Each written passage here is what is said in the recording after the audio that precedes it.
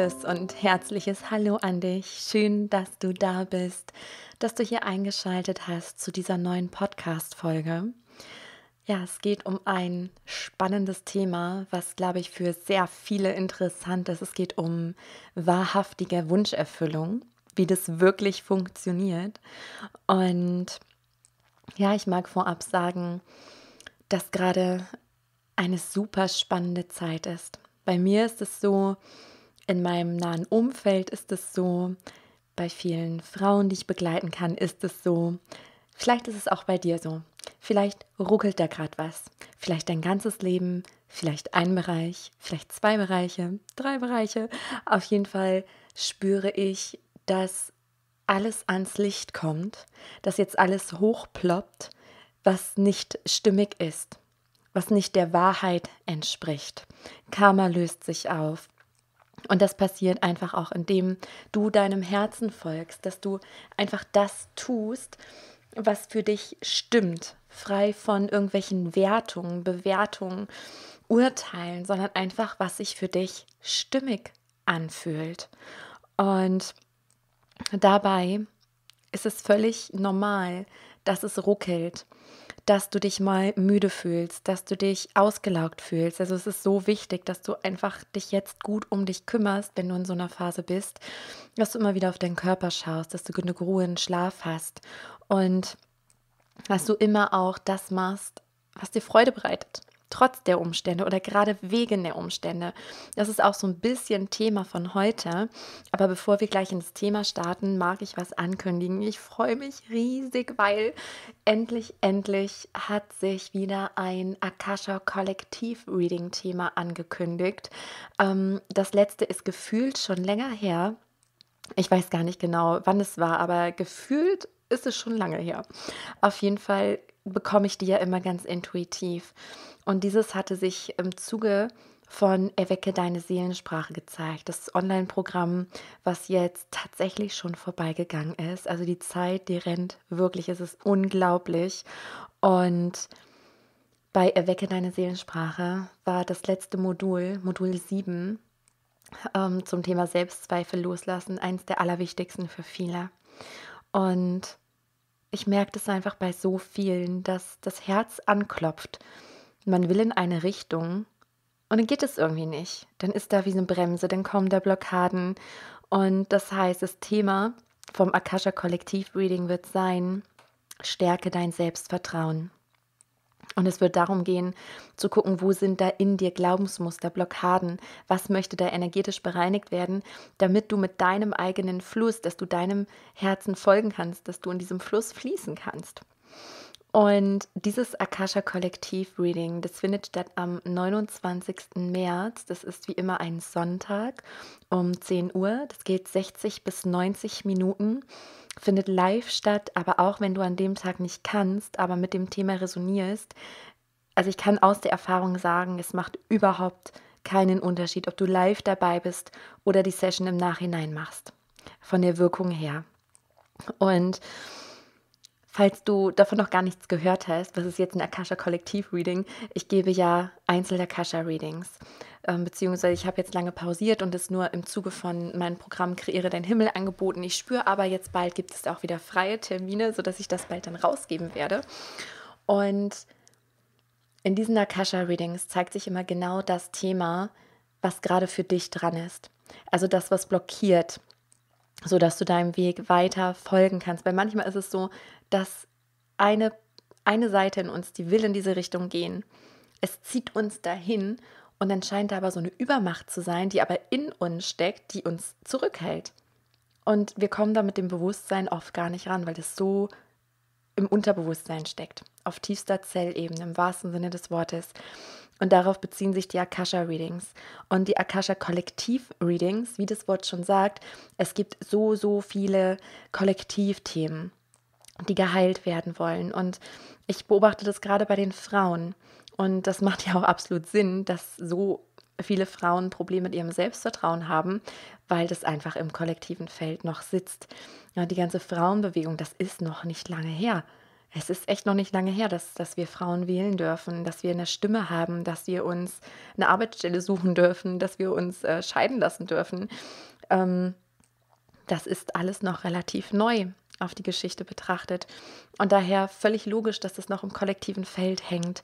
Umso wichtiger, dass wir es lösen.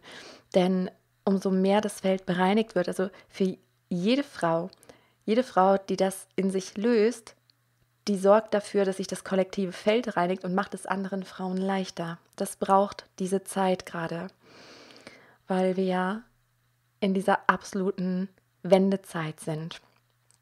Genau, und deswegen, wenn du dich angesprochen fühlst, melde dich von Herzen gerne an. Ich werde es auch ähm, noch auf Instagram posten, auf Facebook, über den Newsletter bekannt geben. Und am einfachsten kommst du über meine Homepage dorthin.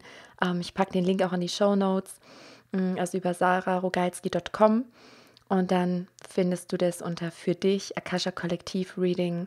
Und es kostet übrigens 33 Euro. Also eine Investition, die sich auf jeden Fall lohnt und sich auszahlen wird. Es ist so wichtig, dass wir losgehen und unserem Herzen folgen. So, jetzt genug der Ankündigung. Jetzt springen wir gleich rein ins Thema.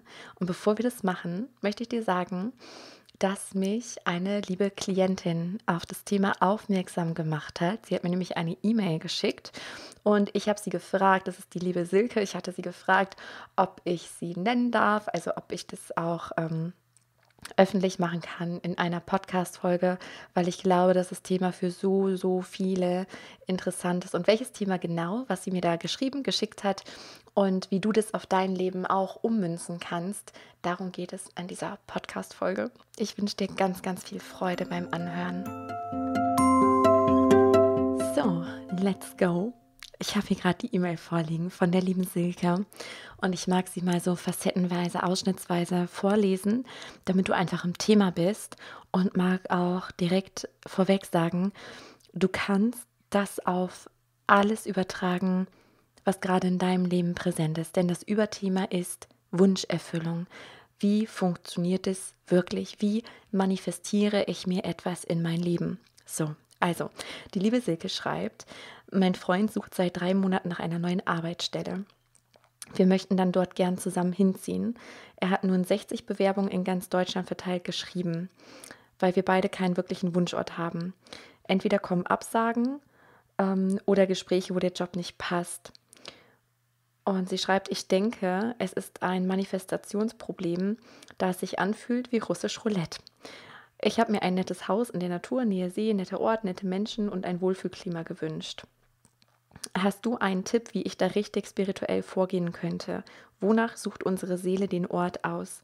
Wir haben beide Kinder, große, ähm, und ich denke immer, es ist zu weit, mal eben zu besuchen. So, ne? Also wenn es jetzt auf einen speziellen Ort bezogen ist. Gibt es einen Weg, da weiterzukommen? So, erstmal, liebe Silke, natürlich. natürlich gibt es einen Weg.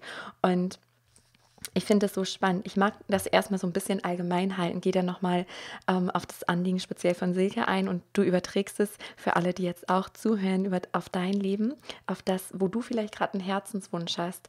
Aber vorab möchte ich unbedingt was sagen ähm, zu, vielleicht kennst du The Secret, das Gesetz der Anziehung. Das wurde ja riesengroß gehypt. Ich habe den Film gesehen, nee, gar nicht, weil ich habe erst das Buch gelesen, da war ich 18.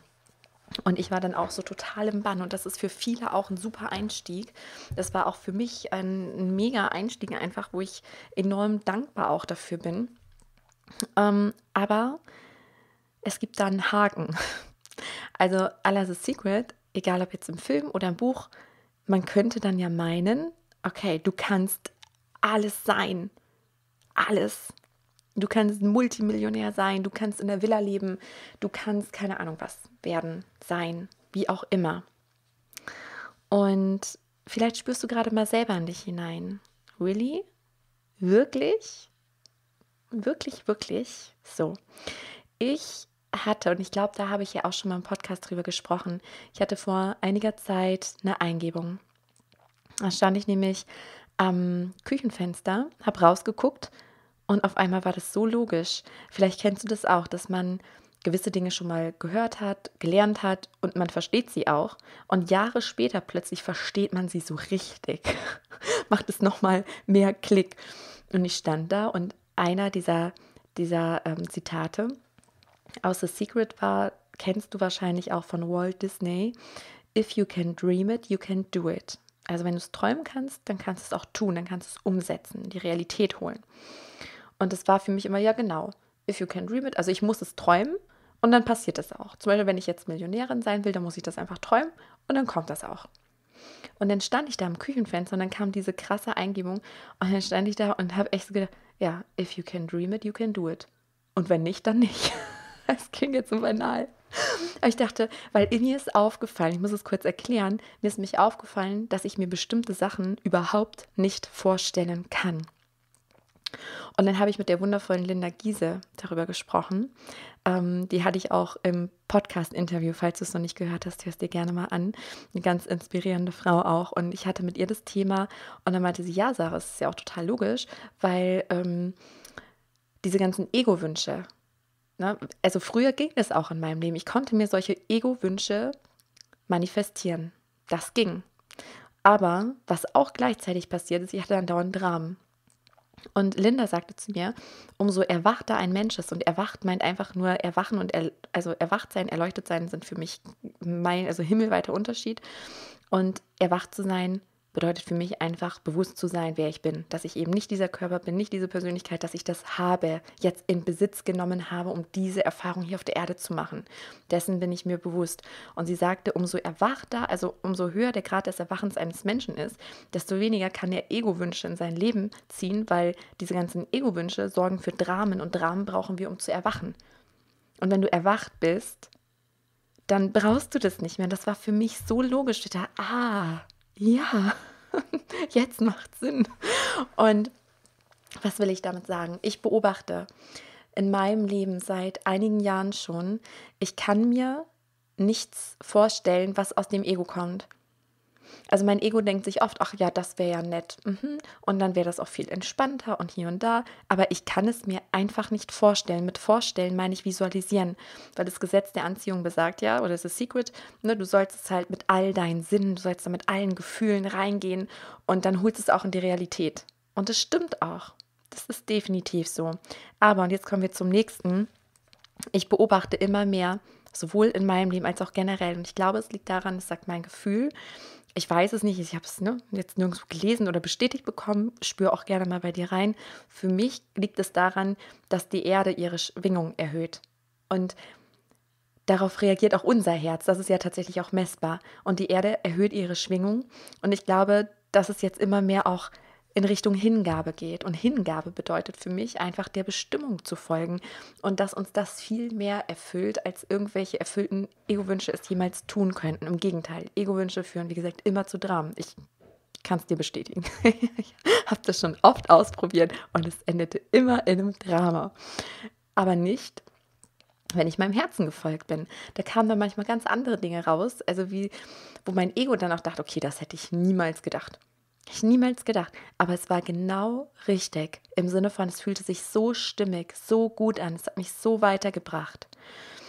Und es heißt also, Hingabe, man könnte sagen, Hingabe bedeutet nicht das Ego entscheidet, also nicht dein Ego übernimmt das Ruder deines Lebensschiffes, sondern das Herz entscheidet, deine Seele, das Herz, was die ganze Übersicht über dein ganzes Leben hat.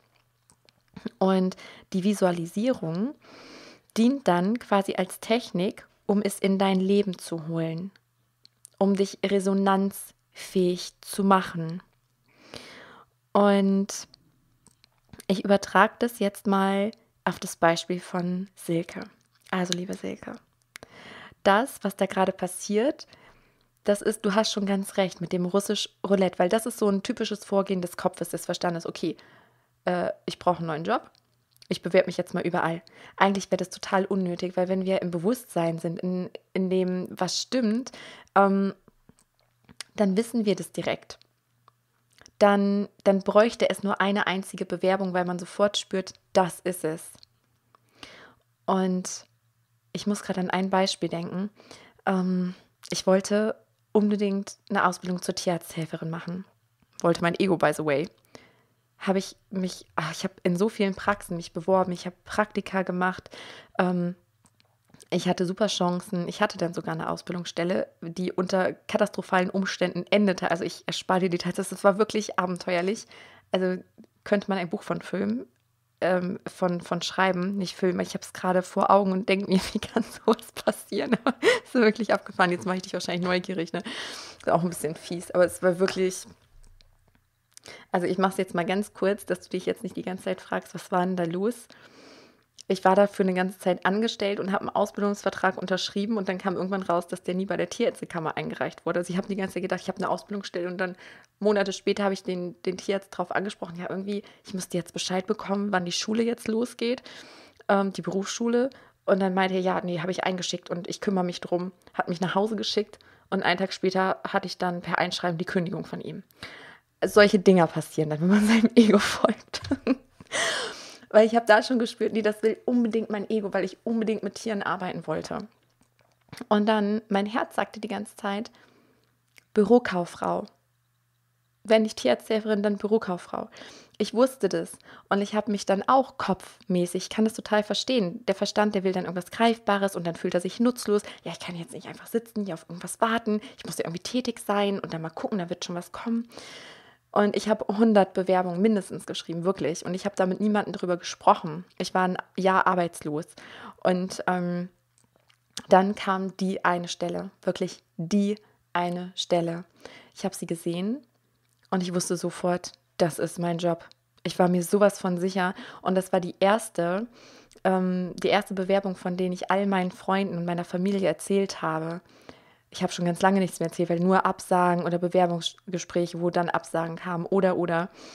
Und bei der Stelle, ich wusste einfach, das ist mein Job, weil es fühlte sich einfach stimmig an. Und genau diese Stelle habe ich dann ja auch bekommen. Und ich gehörte da sowas von hin. Die hat mich unglaublich weitergebracht auf meinem Weg und war einfach immens wichtig.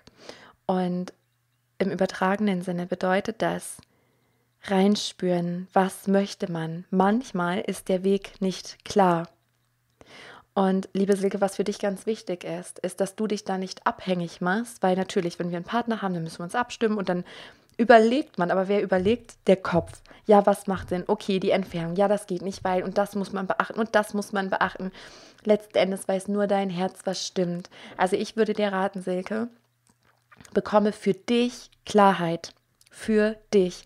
Und ich musste sofort an den wunderschönen Satz von Kurt Tepperwein denken, den er mir gesagt hat, als ich ihn besucht habe, der sich einfach, seitdem beobachte ich das im Leben extrem und der stellt sich immer als wahr heraus.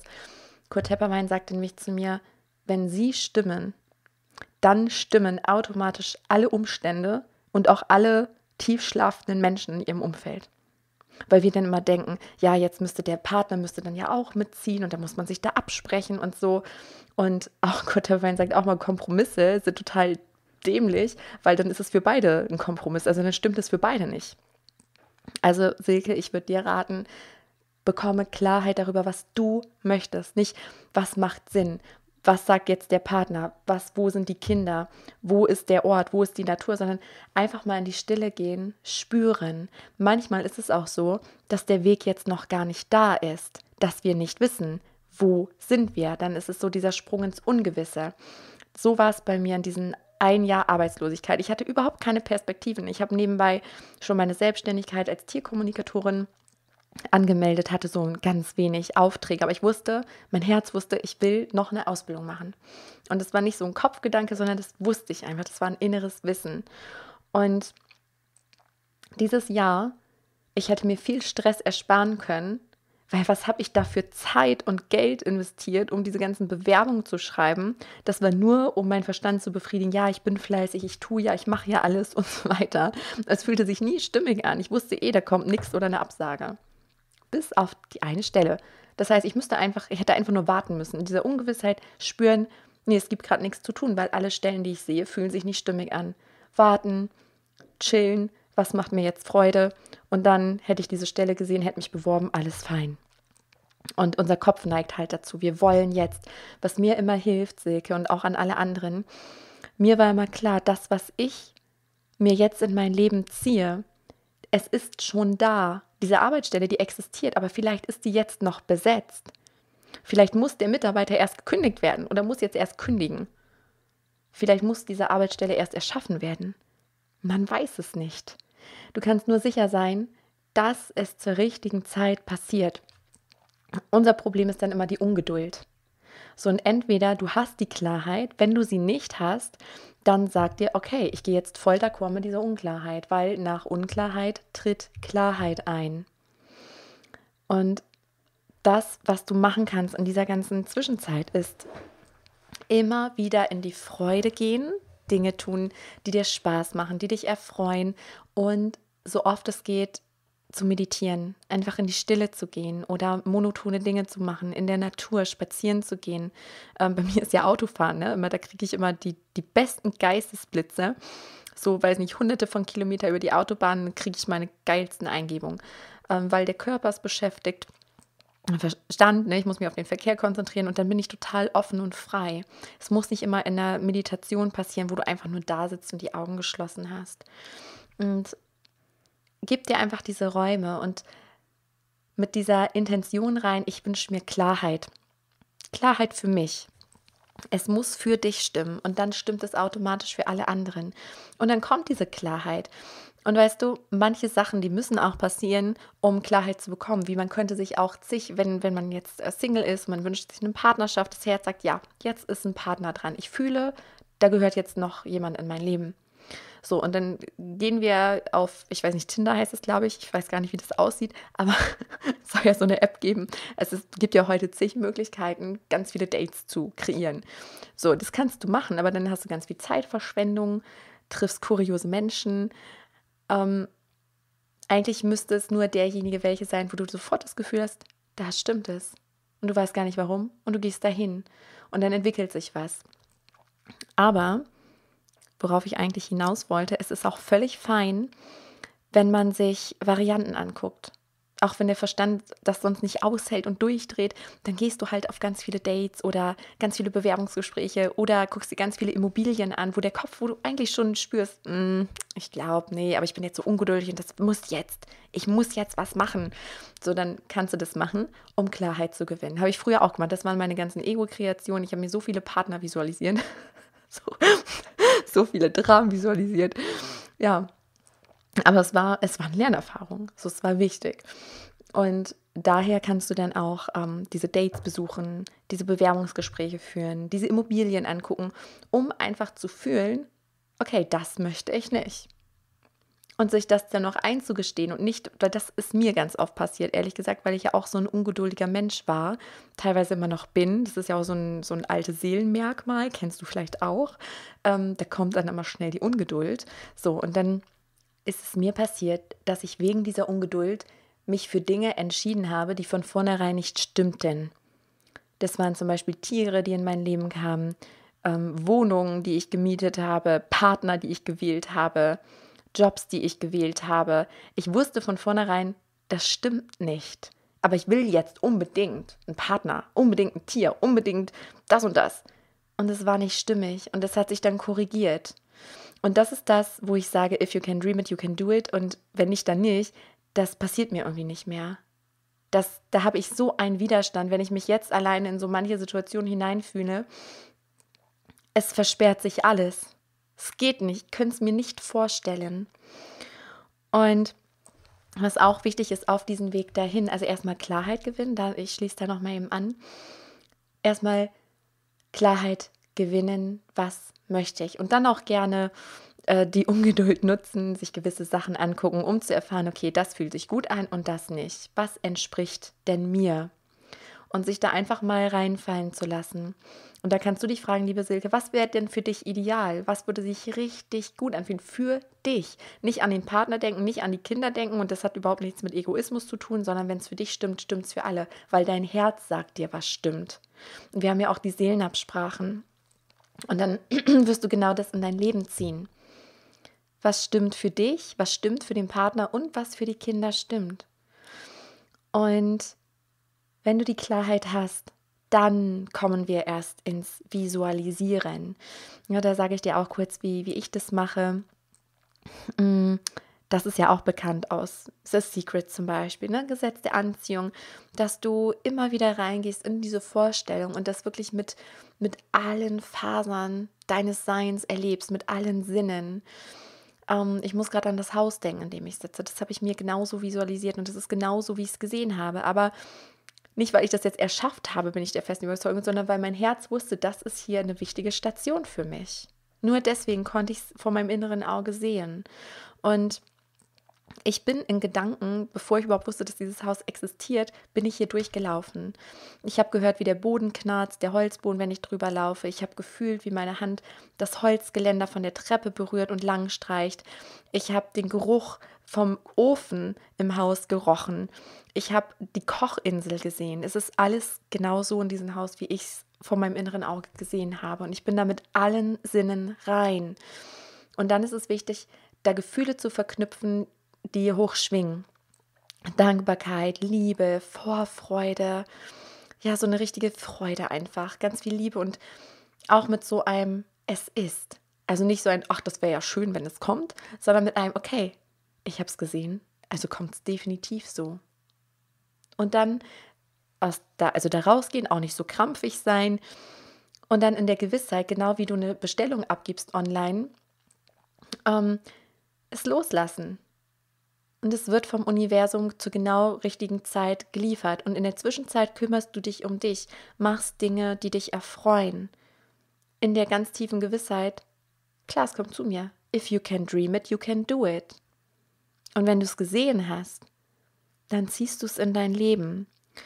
Und auch wichtig, da empfehle ich dir übrigens meine Podcast-Folge mit der Sehnsucht, wo ich über die Sehnsüchte spreche.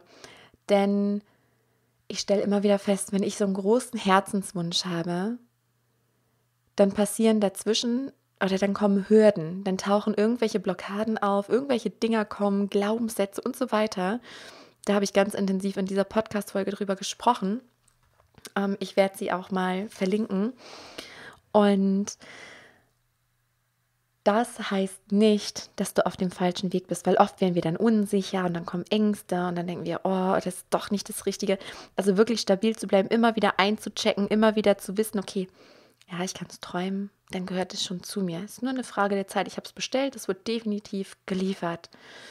Und diese Hürden zu nutzen, um zu wachsen, weil wir vergessen immer wieder, dass der Weg das Ziel ist. Auch das Thema hatten wir jetzt zuletzt in Erwecke deine Seelensprache muss ich gerade so spunzeln irgendwie, weil mir das gerade sehr bekannt vorkommt, weil wir wollen immer irgendwo hin.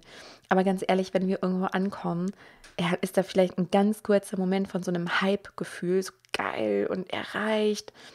Und oft fallen wir danach in ein Loch. Und es kommt darauf an, wie viel Liebe wir geben, wie sehr wir gewachsen sind, wie sehr wir uns entwickelt haben. Also genieße den Weg und verkrampf dich nicht darauf. Jetzt auf das Beispiel von Silke wenn erstmal der Job da ist, wenn erstmal das perfekte Haus da ist. Nein, es ist. Und schau mal, was jetzt hochkommt. Kommt da vielleicht Ungeduld? Kommt da Angst? Was kommen da für Glaubenssätze? Ach, das wird ja nie was oder oder oder das geht nicht, weil bist du mit den Gedanken woanders, bei den anderen sind dir die Meinung der anderen wichtig und das sind so Dinge, da können wir uns drauf konzentrieren, also nicht im Sinne von ne, äh, festhalten und noch mehr Energie drauf lenken, sondern gucken, aha, interessant, das denkt es in mir.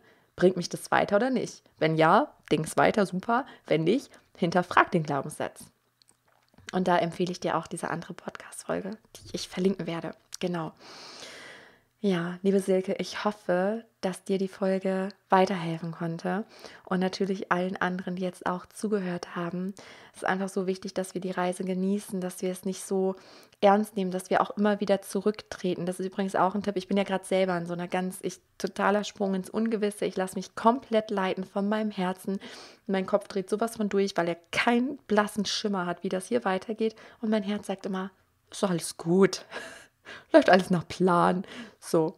Und ich konzentriere mich in der Zwischenzeit darauf, Freude zu haben, mir gute Dinge zu tun, mir, also dass ich einfach Dinge mache, die mir gut tun, die mir Freude machen, ähm, die mich erfüllen und check dann immer wieder ein. Dann kommen Ängste, dann kommen Glaubenssätze. Wenn die kommen, dann heile ich das, gehe ich da rein, verwandle sie, fühle, Heilung findet statt.